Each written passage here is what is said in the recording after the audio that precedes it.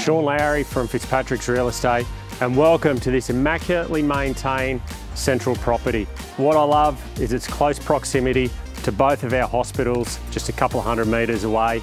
Excellent off-street parking, parks and gardens just one block away, and all that in a short vicinity of Wagga's CBD. Whether you're an investor or a homeowner, this property has got you covered.